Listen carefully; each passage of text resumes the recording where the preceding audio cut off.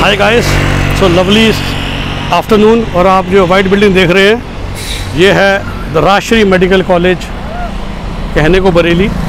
Bareilly city से तकरीबन 15 kilometre बाहर और ये सामने जो आप देख रहे हैं, ये है टोल प्लाजा।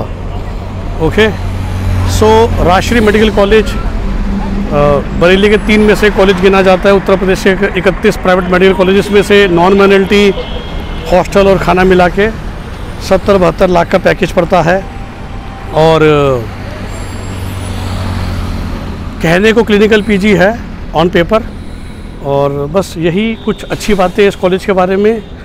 और आई थिंक ये वो कॉलेज है जहाँ से कंप्रोमाइज़ शुरू हो जाता है, जबकि फिर भी अगर आप यूपी की चॉइस लिस्ट देखेंगे तो ये टॉप पहले पंद्रह में आता है तो वी कैन इमेजिन कि जो बाकी पंद्रह जो हमेशा आपको समझाता हूँ या नॉन मेरिटी की बात करें, छब्बीस में से पहले तेरह चौदह अच्छे और फिर तेरह चौदह जो ख़राब होते हैं।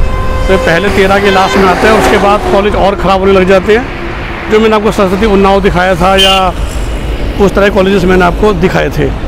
और कोशिश है मेरी कि मैं आपको और ख़राब भी दिखाऊँगा जैसे सैंपल देखिए, जहाँ तक लोकेशन की बात करें लोकेशन बुरी नहीं है, बिल्कुल शहर के वैसे बाहर है। लेकिन ये है दिल्ली का फ़ेमस हाईवे जो दिल्ली, मुरादाबाद, बरेली आ रहा है। सामने एक बड़ा टोल है, एक सौ टोल लग जाता है। सो ये सड़क है जो आगे, जो ओल्ड लखनऊ रोड भी थी। और जब मैं कॉलेज के ठीक बाहर थी कॉलेज की बाउंड्री है ही, लेकिन चूँकि मैं हमेशा कहता हूँ कि गेट पूरी तरह से बंद है मतलब कोई आ रहा है, और मैं ये नहीं कहूँगा ज़ीरो पी है। देखिए, सुबह का टाइम है, मैं खड़ा हूँ तो मुझे पाँच छः टेंपू खड़े हैं, और मैं भी जिस तरीके से मैं जामुन चाप लोग एक एक्सपोजर देना चाहता हूँ तो यहाँ से सिर्फ़ चार किलोमीटर दूर एक फ़तेहगंज एरिया था, और आई थिंक फ़तेहगंज से काफ़ी सारी ई रिक्शास आती हैं, और वहीं के पेशेंट हैं, जो मेजोरिटी इस अस्पताल का इस्तेमाल कर रहे होंगे फॉर ओ पी पर्पस और बाकी किसी पर्पसेस के लिए। और तो लो पेशेंट फ्लो वो जो सबसे बड़ी दिक्कत होती है कि मेडिकल कॉलेजेस खोले गए हैं इंडिया में। आई एम श्योर दिस अस्पताल would be non sustainable on its own तो खैर शेरा मूर्ति और रोहिला खंड से तो खैर क्या ही मुकाबला करें। बट इसके अलावा भी जनरली भी देखेंगे तो मामला बहुत टाइट में ही गिना जाएगा। एक चाय की दुकान थी कॉलेज के बाहर और एक छोले भटूरे वाला खड़ा था। और मैंने आपको कई बार कहा कि इसी से आपको पता चल जाता है ना कि कितनी आपकी फुटफॉल है कि रोयल अखंड तो खैर देखिए प्रॉपर शहर के अंदर था और ऐसा नाम की तो मैंने बोला, बात ही छोड़ दो, वो तो पूरा शहर बसता है। लेकिन उसके अलावा जब हम और बात करें तो ये आपके सामने एग्ज़ाम्पल है ऑफ़ अ कॉलेज जो कि बहुत अच्छा नहीं कर रहा है और वही हमको नज़र आ रहा है कि क्या हिसाब किताब है।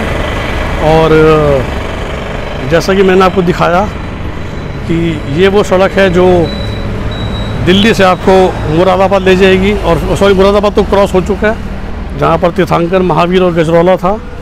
और अब उसी के से चलते चलते हम आगे निकल रहे हैं और अब हम वापस दिल्ली की ओर जा रहे हैं। सो पर्पस खैर आपको दिखाने का यही था। ये पेट्रोल पंप है बगल में और एक कॉलेज की साइड गेट है। आपको वहाँ बसेस नज़र आ रही है जिनको भेज के पेशेंट्स बुलाए जाते होंगे। और जो सामने आपको नज़र आ रहा है वही छोले कुलचे वाला और एक चाय की दुकान भी बस के पीछे नज़र आ रही होगी। यही दो दुकानें हैं जो कि यहाँ पर हैं।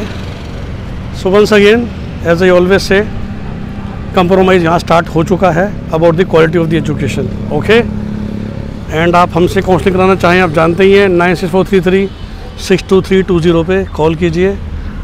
We will able to help you आपका दिन शुभ हो, यही नंबर डिस्क्रिप्शन में भी लिखा गया है. बाय